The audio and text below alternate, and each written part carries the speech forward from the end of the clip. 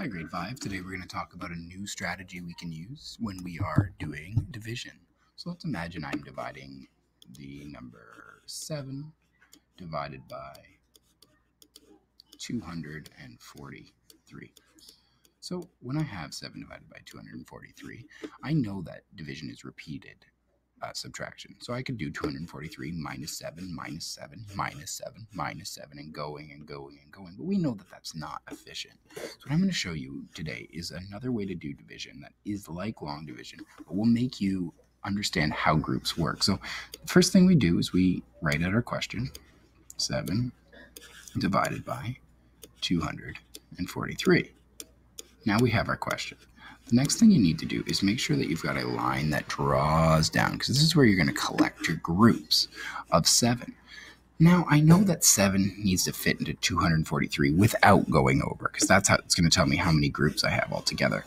Well, what my big thing is, I always try to think of a friendly number I know that I can subtract from 243 that works out easily. And my things is always 10s, 5s, 20s, 30s. So I'm going to start out with 10. Now the key to this is I'm going to do 10, I'm going to take 10 groups of 7 away from 243. So 7 times 10 is 70, and I'm going to take that away from 243. So once I've taken 10 sevens away, I know that becomes 14, that becomes 1. 14 minus 7 is 7, and that becomes 1. So now I know that after I've taken 10 groups of 7 away, I have 173 left, but I still have 173 to remove. Well, this time, instead of using 10, I'm going to double that because I know that double 70 is 140, and I know that I can take 140 from 173. So I'm going to actually take 20 groups of 7 away this time. If I subtract 20 groups of 7, 7 times 2 is 14, 7 times 20 is 140. If I take that away, I now have 33 left. Sorry, I had to continue doing that. So now I know that 7 times 20 is 140. And now when I subtract, I see that I have 33 left over. Now I need to think of what can I multiply 7 by that fits into 33.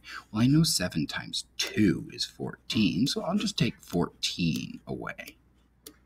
So if I take 14 away, I can't do 3 minus 4, so I have to borrow, so that becomes 2, and that becomes 13. 13 minus 4 is 9. 2 minus 1 is 1. I have 19.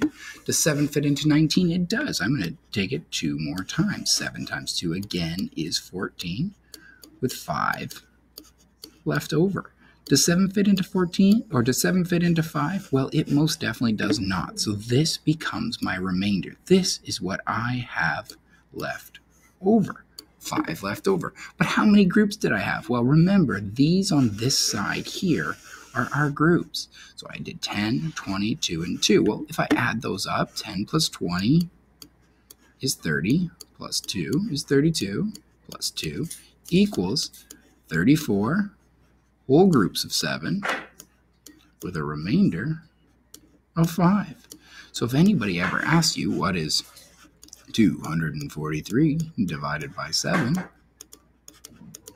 you would know it is 34, remainder 5.